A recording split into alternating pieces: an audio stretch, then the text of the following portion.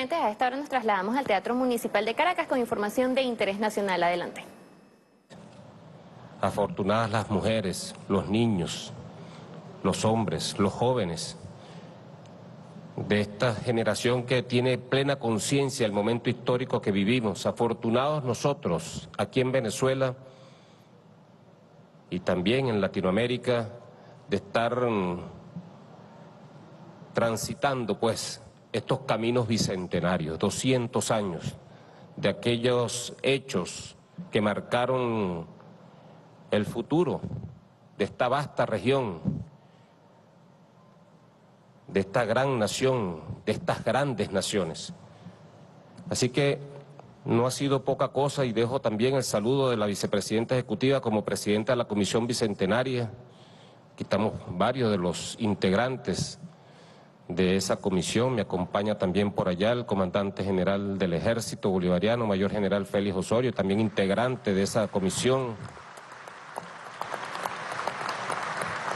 Y, todos los que están aquí en el presidio, pues. Pues sí, 200 años de Pichincha. 200 años de Pichincha. Pudiese preguntarse un niño, bueno, ¿qué estamos nosotros celebrando hoy? Si algo si es algo que está mucho más allá de nuestras fronteras.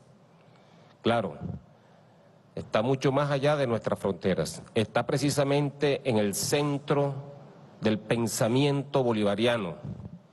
Si algo tenía Bolívar claro era su vigoroso instinto del espacio. No el espacio por conquistar, ni por ocupar, ni por someter a, a la ignominia, no. Es como lo decía la señora almiranta en jefe. Es el espacio para liberar. Pero además de eso, el espacio para liberar era el espacio vital de construcción de poder. Poder, sí, así como se escucha, poder. Basado en el territorio, basado en población, basado en riqueza y era un espacio vital, aquel sueño grandioso que todavía suena aquí en las almas de estos venezolanos y venezolanas, aquel sueño grandioso de Bolívar, de Colombia, Colombia, la grande, algunos le llaman la Gran Colombia, Colombia la grande, prefiero yo llamarla. Era ese espacio vital, ya vista las intenciones hegemónicas de las provincias allá del norte, recién autoproclamada pues su independencia. Ya vista esa visión, ya el libertador presumía la necesidad de construir un espacio vital de contrapeso a los intereses expansionistas hegemónicos del norte, anglosajones. Y por eso Bolívar piensa, pues, en ese instinto, repito, de espacio vital, queridos compañeros, hermanos de armas de nuestra Fuerza Armada Nacional Bolivariana, el espacio vital con fachada al Atlántico, con fachada al Caribe, con fachada al, Caribe, al Pacífico, con fachada andina, con fachada amazónica. Imagínense ustedes el espacio vital que quería construir nuestro padre Bolívar con la fundación de la República de Colombia. Así que ese era el concepto, pues, era el concepto, era la independencia continental. Y muchos de quienes le acompañaban no lo lograron entender, no lograron entender el concepto de la libertad e independencia continental. Decía Bolívar, ¿para qué necesito a Colombia libre si el sur está minado de españoles imperialistas. No tenía sentido para Bolívar limitarse nada más a darle la independencia a lo que era la división político-territorial de lo que era la Capitanía General de Venezuela. No tenía sentido para él. Además de que era un hombre de gran proyección estratégica, de gran visión, y un hombre de práctica, ¿no? de práctica política, de práctica política, también de sable en mano en las batallas militares. Ese era Bolívar, pues. Así que muy pocos entendieron la proyección de la independencia continental de Bolívar y por eso es que a ese niño que pudiese estar preguntándose hoy qué estamos nosotros celebrando, un hecho histórico que ocurrió más allá de nuestras fronteras hace 200 años, bueno, al niño tenemos que decirle nada más y nada menos esa gesta independentista, vigorosa, valiente, corajuda de aquellos patriotas, no solamente militares, queridos ponentes internacionales, porque aquí hubo una verdadera confluencia espiritual de intelectuales, de escritores, de pensadores y de hombres de armas. Lo recoge muy bien el poeta Gustavo Pereira en una obra que recientemente publicó, Carabobo más que una batalla, increíble. Es la confluencia espiritual de voluntades de todo tipo, de todo género, donde se necesita de ideas, de luces, de conocimiento, pero también se necesita del valor, de ir a perder la sangre en esos campos de batalla, en esos campos de batalla. Así pues que es el caso de Pichincha, a 200 años, a ese niño, a esa niña que pudiese estar preguntándose eso. Tendríamos que decirle que ya Bolívar había conformado la República de Colombia con su gran visión y faltaba ese bastión allá en Quito, en Cuenca, en Guayaquil, para completar la configuración político-territorial de la República de Colombia, fundada en 1819.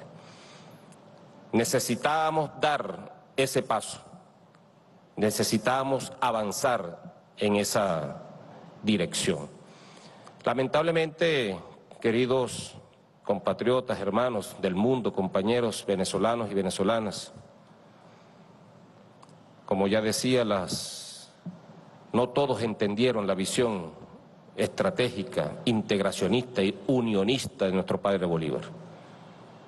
Ya las oligarquías estaban pensando en volver al formato original de, de los virreinatos, de las audiencias reales, como era el caso de Quito, de las capitanías generales. ¿Para qué? Para preservar su poder económico. Los mantuanos terratenientes de Venezuela, los pelucones de Chile, la aristocracia de Perú, la oligarquía argentina,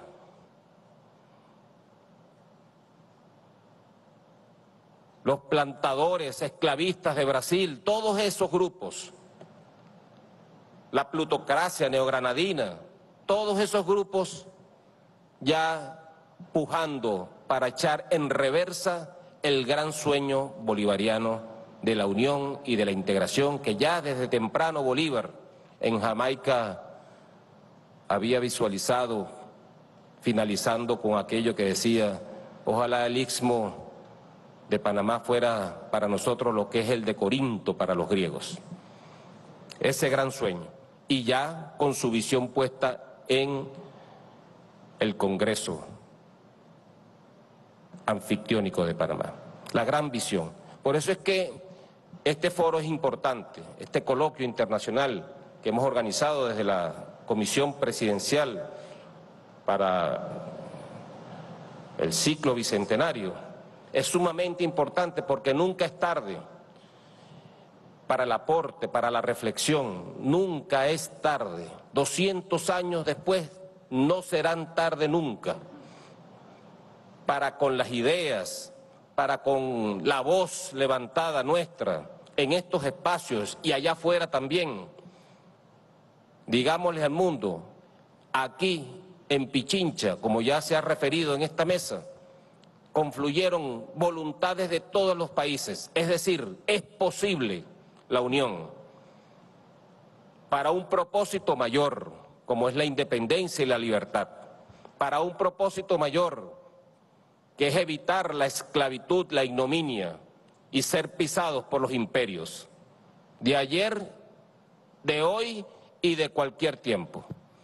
Pichincha nos llama a nosotros, repito, a la reflexión, nos llama a la práctica de la unión, si es posible, si dejamos de lado las mezquindades, las nimiedades y las cosas que nos dividen como pueblos hermanos. Tomemos la visión de Bolívar, tomemos el valor de Antonio José de Sucre, caballero en todo, como decía Bolívar, caballero en todo, metódico, el general más brillante, más inteligente y mejor hombre de Estado, Antonio José de Sucre. Tomemos pues de ellos y de todos quienes hicieron posible esta victoria en Pichincha, sus ideas están hoy más vigentes que nunca. Y hoy podemos decir, Venezuela hoy en día es otro, es otra batalla de Pichinche. Es otra batalla de Pichinche. Y si es otra batalla de Pichinche, es una, es una batalla continental, continental, contra el imperialismo, contra el hegemonismo. Es el bolivarianismo versus la visión monroísta que nos pretenden imponer. Así que nunca es tarde. Aplaudo la instalación de este coloquio internacional con la presencia de tan distinguidas personas de todo el mundo, de ustedes que están presentes aquí. Pongamos atención, estoy seguro que va a ser fructífero, hermoso, bello y por supuesto no tendrá lugar a desperdicio alguno. Bienvenidos, bienvenidas. Adelante con este coloquio. Muchas gracias. Un abrazo para todos. Que viva Venezuela. Que viva Pichincha. Escuchando declaraciones del vicepresidente. De esta manera queda formalmente instalado el coloquio internacional bicentenario de la batalla de Pichincha. Nuestro norte es el sur. En este momento invitamos a nuestras distinguidas autoridades que presiden esta actividad bajar a primera fila para comenzar con el primer bloque del coloquio, por favor, si son tan amables. En la batalla de Pichincha colaboran por primera vez las fuerzas militares del libertador Simón Bolívar y de José San Martín, comandada por Antonio José de Sucre, la batalla logra liberar a la ciudad de... Saludos amigas y amigos de Venezolana de Televisión. En efecto, esta Teatro Municipal de Caracas, donde continúa en desarrollo el coloquio internacional de la batalla de Pichincha, un espacio para el debate, para la reflexión, con invitados internacionales. Más temprano tuvimos la oportunidad de darle eh, la apertura a este coloquio internacional, pero en este momento nos acompaña una invitada internacional de la República de Ecuador, Erika Silva Charvet, quien es eh, licenciada en Sociología y maestría en Ciencias Políticas, además ex ministra de Cultura durante el gobierno de Rafael Correa. Licenciada, para que nos amplíe un poco sobre, a su juicio, la importancia de la batalla de Pichincha y su trascendencia luego de estos 200 años. Bueno, para mí es una, eh, una cuestión memorable, muy bonito, que yo esté conmemorando este hecho histórico tan importante para el Ecuador en Venezuela y que me hayan invitado a, este evento, a este coloquio, eh, por lo cual agradezco al Centro de Estudios Simón Bolívar. Eh, la batalla del Pichincha tiene una importancia crucial para, eh, eh, para la independencia del Ecuador, del dominio colonial, porque cierra el ciclo, ¿no es cierto?, de la independencia, de la lucha por la independencia que se abre justamente en, 1808 y que se desarrolla en, en tres fases, ¿no? Eh, primero, pues la, fase de la revolución quiteña, que va de 1808 a 1812. Luego, la reacción realista, que es una contrarrevolución, una contra, sí, pues una contrarrevolución realista entre 1812 y 1820. Y luego la ofensiva final que culmina justamente con la batalla del Pichincha del 24 de mayo de 1822, en la que pues se, evidencia una, una convergencia de, diversos revolucionarios, independentistas de, de los distintos sitios del país, ¿no es cierto?, de la Real Audiencia, pero también de, em, digamos, de, de lo que posteriormente será Venezuela, será Perú, será eh, Colombia, los granadinos, pero también de participantes internacionales eh, como la Legión Inglesa, ¿no? que participaron, digamos, también en la lucha por la independencia. Entonces, tiene una importancia histórica crucial para eh, la independencia de nuestro país y también para la independencia continental, porque con ella pues continúa la lucha de liberación impulsada por Bolívar, ¿sí? hacia justamente la liberación de lo que será el Perú y luego la liberación del Alto Perú, que posteriormente será Bolivia, ¿no? Correcto. Ahora, la trascendencia que tiene la batalla de Pichincha en la actualidad. Bueno, yo, eh, a mí me parece sumamente importante eh, considerar algunos, eh, algunos nudos y justamente lo que planteo en la ponencia que traigo es considerar que este es un proceso, digamos, inconcluso y contradictorio, ¿sí? Inconcluso porque pese, digamos, a la, a la lucha por la independencia que, que se cierra, el ciclo de la independencia concluye en 1830. Pese a eso, digamos, el proceso de liberación anticolonial no ha concluido porque a lo largo, digamos, del siglo XIX, los llamados padres de la patria, ¿no? Traicionaron el ideal, digamos, bolivariano, traicionaron eh, la construcción de la patria grande, que espasmódicamente ha sido recuperada por otras digamos, procesos revolucionarios. En el caso del Ecuador, pues fue Alfaro, la lucha liberal, revolucionaria de fines del siglo XIX y principios del siglo XX, que recuperó el ideal bolivariano y que planteó de nuevo la recuperación de la Gran Colombia y de la patria grande. Pero ese proceso también fue frustrado ¿No? Y ese proceso frustrado fue recuperado posteriormente al amparo, digamos, de los procesos progresistas que fueron estimulados por eh, el proceso bolivariano que se abre justamente con la revolución bolivariana impulsada por el comandante Chávez. Ahora, en cuanto a su ponencia, la independencia como proceso de liberación nacional, contradictorio e inconcluso sobre el caso ecuatoriano, ¿podría darnos un breve resumen? Es decir, eh, eh, por ejemplo, los padres fundadores, que los padres fundadores que no fueron los padres realmente los patriotas, sino quienes fueron los beneficiarios de, las luchas independentistas, ellos renegaron de esa agenda patriota, de esa agenda de construcción de la patria grande, ¿no es cierto? Eh, y por el contrario, ellos, eh, digamos, concentraron, ellos ellos eh, eh, se constituyeron en clases dominantes terratenientes regionales que explotaron a la población indígena.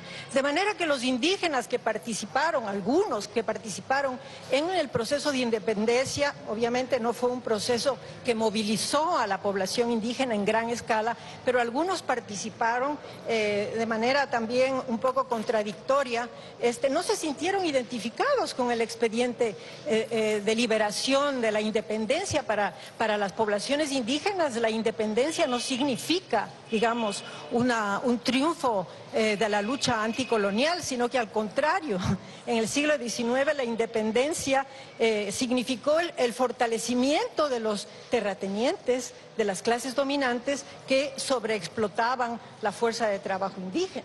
¿No? Entonces, en ese sentido, pues hay algunos procesos que quedaron pendientes, ¿sí?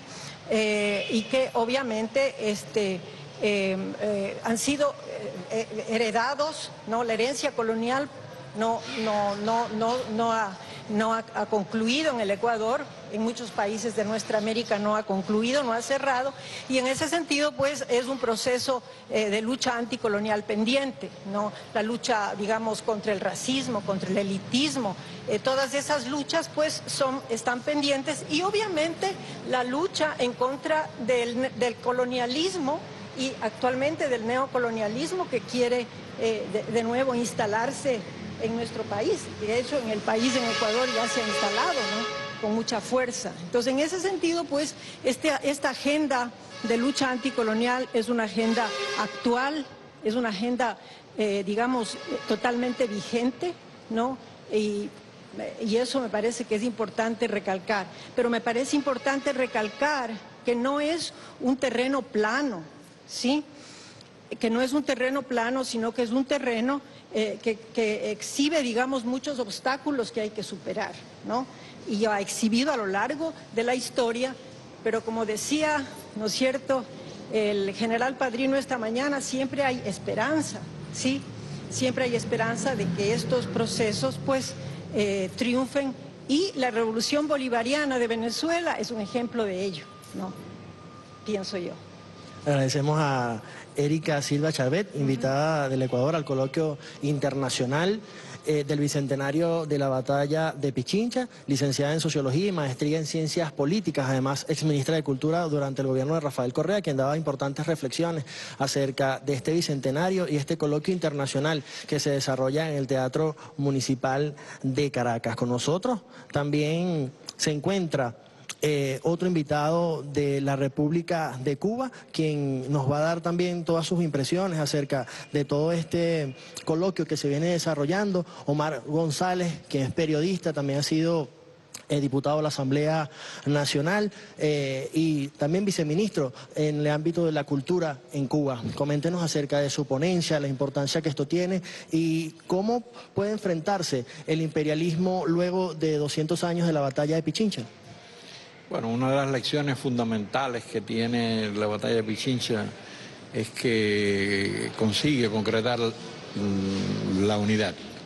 Allí confluyen voluntades de grandes hombres, liderazgos indiscutibles, eh, Sucre, las mismas ideas políticas eh, de, Bolívar, y, ese es el, momento en que surge verdaderamente, como decía eh, se decía hace poco en el coloquio, surge verdaderamente esa noción de nuestra América que después José Martí va a llevar a, extremos filosóficos y conceptuales y le va a aportar los ingredientes culturales eh, primordiales para comprender ese proceso histórico. Esa, es una lección eh, fundamental que puede uno extraer de, de, lo que sucedió en Pichincha, porque se logra ya articular eh, varios países. De hecho, en la misma eh, batalla de Pichincha participan neogranadinos, participan argentinos, participan chilenos, venezolanos. Es, algo que, en esa época constituye también un acontecimiento y hoy mucho más. Hoy mucho más la... Ahora, desde entonces acá siempre hemos perseguido los latinoamericanos eh, la unidad siempre hemos procurado eh, acabar con las hegemonías extranjeras, con las hegemonías foráneas. Eso ha sido una batalla permanente, en algunos momentos de la historia los resultados han sido mm, mejores, en otros ha habido, se han producido retrocesos. El tema que yo voy a tratar es el tema de la hegemonía hoy y la emancipación cultural hoy a la luz de, los 200 años de, de la batalla de Pichinche, porque hoy en día el entramado imperialista es mucho más sofisticado. La hegemonía cultural entonces era la, hegemonía del imperio español, hoy es la hegemonía del imperio eh, norteamericano y del imperialismo en general. Esa, eso obliga constantemente a hacer que nuestra cultura, que vive eh, excluida, sojuzgada, apartada de los espacios de validación en sentido general, a que nuestra eh, cultura tenga necesariamente un carácter emancipatorio. Nosotros luchamos, se trata de un problema esencialmente cultural, luchamos por hacer que nuestras ideas mm, no solo estén, sino que prevalezcan y que derroten esa hegemonía imperial a que hemos estado sometidos.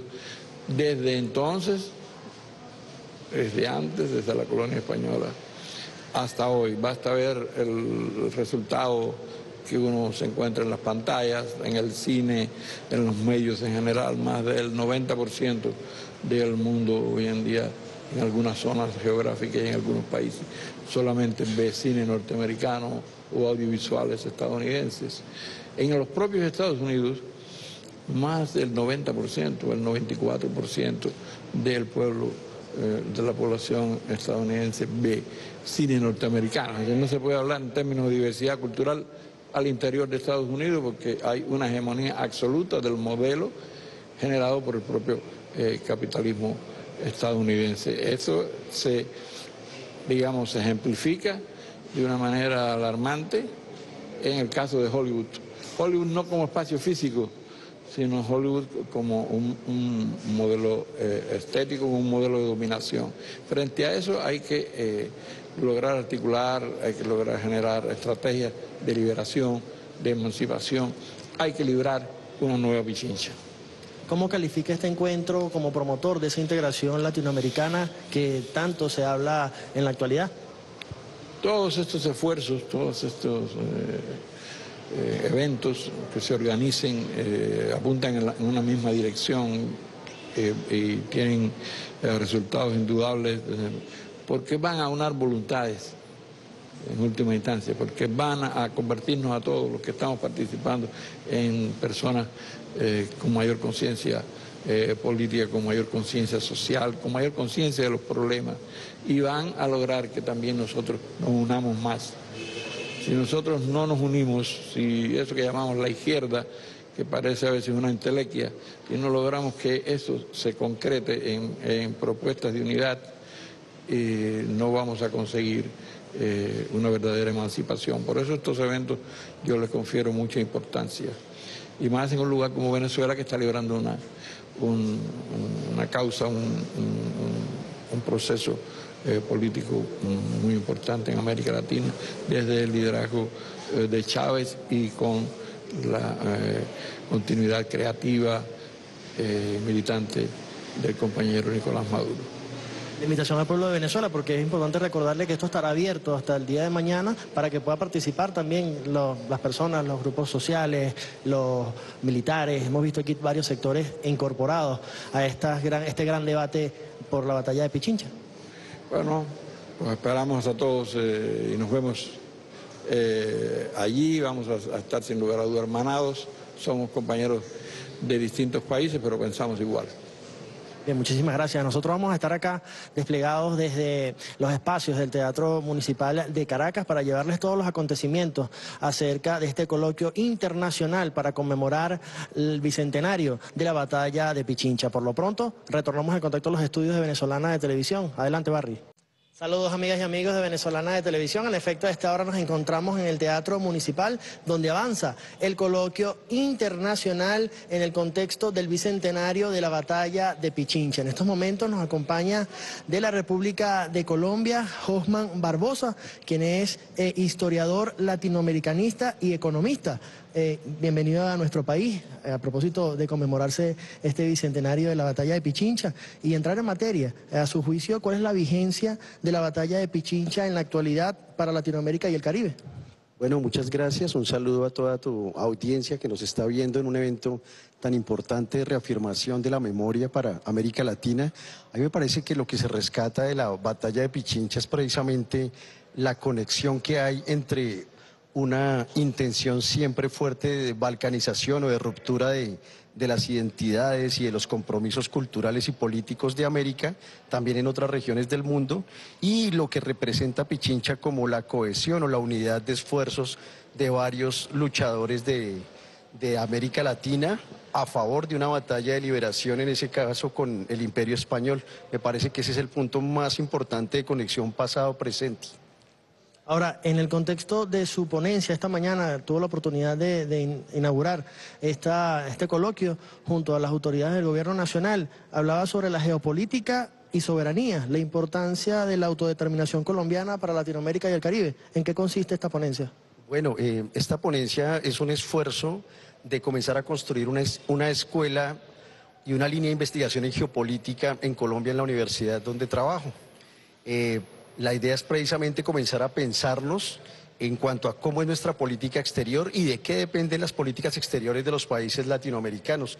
En el caso personal, pues, de Colombia, cómo nosotros nos insertamos y articulamos. La tesis fundamental de mi exposición es la verdadera soberanía y autodeterminación de Colombia como nación, como Estado-nación, está condicionada por la decadencia eh, de Estados Unidos como hegemonía global. Digamos que es una visión académica, pues ninguna ciencia está eh, eh, ajena a la ideología, pero es sobre todo un ejercicio académico desarrollado con evidencias, con fuentes, fuentes abiertas, pensando en esto, ¿no? Colombia tiene un ciclo de posible desarrollo de la soberanía en relación con la decadencia de Estados Unidos. Hay teóricos eh, chinos que señalan precisamente que el ciclo de auge de la hegemonía estadounidense es un ciclo de 100 años y ellos lo, lo conectan comenzando con Bretton Woods en 1944, que es cuando se genera toda la organización y la arquitectura financiera internacional desde el Banco Mundial, Fondo Monetario Internacional, y dice hacia, hacia el 2044-2050 esto va a estar finalizando.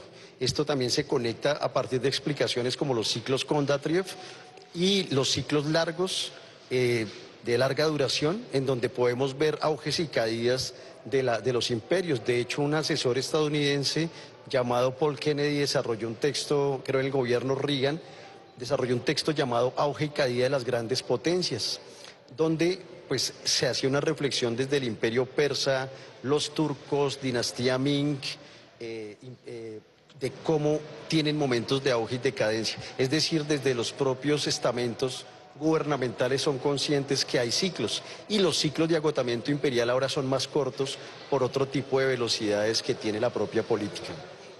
Ahora, ¿qué, a su juicio, cómo visualiza la integración latinoamericana en, estos años que están por venir? Eh, ¿Este encuentro, a su juicio, promueve esta integración? ¿Qué podría decirnos? Bueno, eso es interesante otra vez en relación con lo que pasa con, con Colombia. En la exposición precisamente decía nosotros tuvimos la oportunidad de integrarnos a un ciclo de populismo en América Latina en 1948 cuando estaban eh, Perón, Getulio Vargas, ya habían varios presidentes en el, en el, surcontinente, eh, haciendo, digamos, otra visión de lo que podía ser la política. Y asesinan a Gaitán en 1948 y es la primera eh, postergación de nuestro ingreso, digamos, con otras formas de entender el, continente. Y luego viene el ciclo progresista que se funda, puede ser una fecha para relacionarlo, con 1998 con el triunfo de Hugo Chávez Frías en la presidencia de Venezuela y comienza el ciclo progresista. Ya vienen Evo Morales, Correa, Mujica, etcétera, y es un gran ciclo progresista hasta el 2014, cuando, esas, cuando muere el, el, presidente Hugo Chávez y cuando comienza la digamos, a, a perder auge el progresismo en América Latina. Entonces, Colombia no ha estado en ninguno de los dos ciclos. Estamos comenzando a ver desde el 2018, con el triunfo de Andrés Manuel López Obrador, un, regreso del progresismo con fuerza en varios países y pues la idea es que va a haber un segundo ciclo progresista. Si gana Lula en Brasil y en Colombia ganara Petro, eh, aportaría a la reconfiguración, digamos, política haciendo una... Eh, una configuración estratégica. En ese medido, en esa medida la integración latinoamericana eh, eh, no solamente es un, un, asunto aplazado, sino que está ligado a condicionamientos realistas de la historia, de la geopolítica, y pues en ese punto Colombia llama más al no tener tanto entusiasmo y más prudencia frente a, a, lo, que, a lo que puede pasar. ¿no? Colombia es un, es un elemento estratégico desde la teoría de Spickman, Nicolás Spickman, sobre lo que es eh, la configuración del poder de Estados Unidos en el subcontinente y Colombia es una bisagra hacia el Caribe, hacia lo andino y hacia el Pacífico. Es decir, mm, hay que ver, digamos, eh, con prudencia qué pasa con Colombia, porque Colombia, digamos, es un elemento supremamente importante de la política de seguridad nacional de Estados Unidos. La integración latinoamericana creo que se va dando a grandes pasos. CELAC, me parece que lo que ha hecho el presidente Andrés Manuel López Obrador y su ministro de Exteriores Marcelo Ebrard para fortalecer CELAC y construir algo que nos falta en América Latina, que es desarrollo de ciencia y tecnología. A partir del ALCE, la Alianza Latinoamericana del Espacio, son elementos que permiten cohesionarnos no a nivel político nomás, ni a nivel cultural. Ya tenemos la historia y el idioma como, como eje y vínculo, pero la ciencia nos hace falta y me parece que apostarle a la carrera aeroespacial, que es la integración de varias ciencias, no es solamente poner un cohete en el espacio, eh, son como elementos optimistas de la integración. Bien, agradecemos a Josman Barbosa en, en, este contexto del coloquio internacional del Bicentenario de la Batalla de Pichincha, importantes reflexiones acerca de su ponencia sobre la geopolítica y soberanía, la importancia de la autodeterminación colombiana para Latinoamérica y el Caribe. Es la información que nosotros podemos aportar a esta hora y devolvemos el contacto a los estudios de Venezolana de Televisión. Nosotros continuamos desde el Teatro Municipal de Caracas dándole cobertura al coloquio internacional en el contexto de la celebración del bicentenario de la batalla de Pichincha. En este momento me acompaña una invitada internacional desde la República Dominicana, Petronila Dotel Matos, historiadora y licenciada en Ciencias Sociales, eh, para que nos dé su opinión acerca de la importancia de este encuentro, pero además eh, qué significa la batalla de Pichincha para enfrentar al nuevo imperialismo en pleno siglo XXI. Muchísimas gracias por la invitación a este importante encuentro de, de latinoamericanos. La batalla de Pichincha es un punto importante en lo que es la historia de nuestra América Latina una batalla que va a significar un antes y un después para esa gran lucha por la emancipación de los pueblos de América Latina. Pinchincha es inspiración, porque en esta histórica batalla que cumple sus 200 años, se dan una serie de confluencias interesantes que hoy nos van a servir de ejemplo o nos sirven de ejemplo para nosotros continuar lo que Pichincha cerró y abrió. ¿Qué es lo que Pichincha como batalla, como confrontación militar abre y cierra? Allí nace una nueva república, pero también esto va a servir para romper lo que fue el dominio colonial en América del Sur. Entonces Pichincha tiene una confluencia interesante. La lucha por las independencias de América Latina es un proceso que va a unificar diferentes sectores sociales y va a, va a unificar en un solo ideal de crear una gran patria latinoamericana. Entonces, en Pichincha se demuestra esa gran capacidad militar que tiene nuestro ejército liberador. Se van a unir dos grandes figuras de lo que es la independencia latinoamericana, pero también nos va a dejar un componente esencial que es la participación popular. Si un proceso de liberación no puede darse si no no confluye, no se une, no se vincula al pueblo como protagonista. Y ciertamente pudiéramos decir que la independencia latinoamericana tiene pudiéramos verla de diferentes miradas, diferentes aristas, pero ese componente popular, ese componente latinoamericano, ese encuentro de líderes, de grandiosos líderes, curtidos con un pueblo que quería su emancipación, allí en Pichincha va a tener lugar. Y ese detalle grande es lo que va a producir este cambio en la correlación de fuerzas que significó esta batalla para el empuje del proyecto liberador que con mucho orgullo llevaron nuestros líderes. Entonces, Pichincha es ejemplo para el presente, porque todavía nuestra América tiene demandas que se abrieron en ese siglo XIX se creó la gran patria, América Latina se liberó o casi se libera, porque hay que tener en cuenta eh, un elemento importante. La liberación de América Latina, el proceso implicó primero salir del dominio colonial. Pero ese era un elemento del proceso de emancipación. Había entonces que provocar una liberación social, había que liberar a los esclavos, a los indígenas, y entonces esa construcción liberadora este triunfo de Pichincha es lo que va a servirnos de guía para que hoy, 200 años después, digamos, ¿cuál es el enemigo que tenemos que enfrentar nuevamente? Si nuestra América sigue preñada de problemas, si aún tenemos carencias a nivel social, si aún tenemos carencias a nivel económico, seguimos en un entramado económico que nos mete en una dependencia peligrosa. Hoy estamos bajo la la égida de la globalización. Y entonces, ¿qué va a hacer América, Latina en este presente tan complejo y diverso? unirse como, se, como sucedió en Pichincha, unir los ejércitos, llamar al pueblo como protagonista principal para que juntos entonces podamos crear una nueva América Latina que dé respuesta a todos los sectores hombres, mujeres, porque en esta batalla se destacaron mujeres singulares, pero sobre todo ese factor popular, ese elemento pueblo que hay que seguir rescatando, porque hasta que no tengamos una libertad completa, y llamo libertad completa, esa que combina lo material, es decir, las condiciones materiales del pueblo, un pueblo que pueda comer, que pueda divertirse, pero también un pueblo que piense, que reflexione, que no se deje conducir eh, en las garras del imperialismo de nuevo tipo, porque hoy tenemos una sociedad que nos hace sentir libres, pero que nos crea ataduras de otro tipo. Entonces, Pichincha es como ese punto grandioso en el que debemos anclarnos para decir, si ayer pudimos vencer un enemigo tan poderoso como el imperialismo español, ¿Por qué hoy no podemos hacerlo si contamos con otras fuerzas y contamos también con, mucho más entusiasmo? Porque eh, América Latina ha crecido y tiene más vigor a pesar de las ataduras que puedan venir de, la nueva forma en que el imperialismo moderno quiere mantenernos bajo la sumisión y la opresión.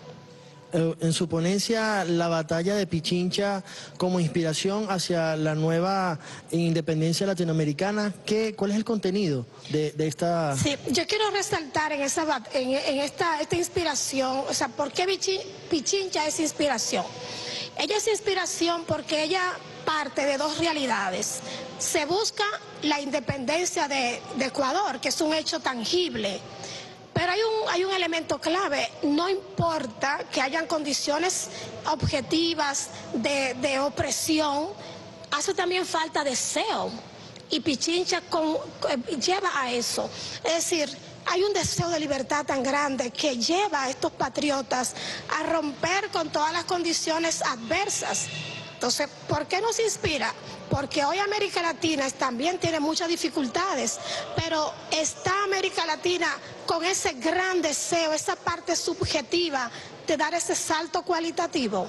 Y es entonces donde yo quiero como ver que los procesos liberadores no solo parten de una realidad, de un peso, de una opresión que tú puedes ver, se necesita ese deseo, esa motivación, y es un elemento subjetivo y entonces a nosotros, los profesores de hoy, nos debe motivar esto para cómo nosotros podemos inspirar, motivar, calar en el alma, si se quiere, en la psiquis colectiva, para liberar desde lo emocional, si se puede decir, y entonces convertir esta realidad objetiva de, carencia, de, de necesidades concretas, en un deseo, en una voluntad de salir adelante y de luchar por algo novedoso. También eh, me hablo de Pichincha como inspiración por el elemento juvenil que hubo allí. Había un soldado, me llamó mucho la atención, este soldado joven que aún siendo herido, tenía cuatro heridas, seguía firme en el combate. Y yo digo, pero América Latina es un continente de jóvenes. Entonces los jóvenes tienen un papel, han tenido en la historia del continente un papel muy importante y este joven resume esa valentía juvenil, esa persistencia, esa, esa, permanencia y ese llamado de vamos adelante amigos, yo lo quiero resaltar como un elemento de motivación a la juventud latinoamericana para seguir rompiendo barreras, resistiendo las heridas del presente, porque ¿hacia dónde están siendo conducidos los jóvenes latinoamericanos? Hacia el consumo, hacia quizás la vida fácil, hacia otros horizontes que rompen con ese pasado que nos vincula a un proyecto liberador. Entonces Pichincha tiene ese componente. Además, inspira porque Pichincha representa la unidad de los pueblos latinoamericanos por crear una patria grande y esa patria está inconclusa. Entonces nosotros no podemos eh, dejar de lado esta parte de motivación, esta parte de inspiración que entra en lo subjetivo, pero que combinado con una realidad que te golpea constantemente se tiene que convertir en una fuerza liberadora mucho más abarcadora. Creo que también eh, la voy a dirigir en el sentido de que seamos críticos. No nos vamos a llenar solamente de glorias, también el proceso nuevo, la nueva unidad latinoamericana tiene que ser autocrítica. Y hay que buscar entonces dónde fallamos, por qué no hemos podido todavía conformar esa gran patria latinoamericana. Es cierto que tenemos un enemigo nuevo, poderoso, pero también nuestras fuerzas, nuestra, nosotros como, como sectores progresistas tenemos que ver qué nos impide avanzar y provocar una batalla tan gloriosa, ya sea en lo ideológico, en lo sociológico, en lo político, en lo educativo, para que América Latina arranque y concluya esa obra de emancipación del pueblo a partir de su diversidad, porque América Latina es un continente diverso. Y el pueblo latinoamericano hoy tiene muchos temas, muchas agendas. Hoy liberar a América Latina implica enfrentar el narcotráfico, la violencia, la delincuencia, los gobiernos ineptos, la incapacidad que como Estado todavía tenemos muchos países en, en enfrentar los enemigos del presente, que es el, es el, imperialismo, sigue siendo el imperialismo con, otra, con otros colores, con otros nombres, pero seguimos bajo un proceso de subordinación y obviamente se puede romper con la unidad, con la lucha, con el ejemplo que dieron los jóvenes, los hombres y mujeres que confluyeron en Pichincha para dar este gran paso hacia una gran patria, la patria latinoamericana. Agradecemos a Petronila Dotel Matos de la República Dominicana, historiadora, licenciada en Educación, mención Ciencias Sociales, en esta reflexión acerca de la batalla de Pichincha. Precisamente estamos en el Teatro Municipal de Caracas, donde se celebra el coloquio internacional a propósito de este bicentenario. Es la información que nosotros podemos aportar a esta hora y con ella retornamos el contacto informativo. Adelante.